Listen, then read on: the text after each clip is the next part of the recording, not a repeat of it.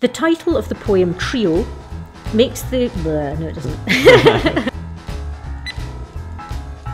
With an interesting rel- religious um, interlude here where he refer no blah blah blah blah. This metaphor compares the stubble that one might grow on one's cheeks, and this is how can I say that? God. Tithonus. Ty- Tithonus. Ty- Tithonus.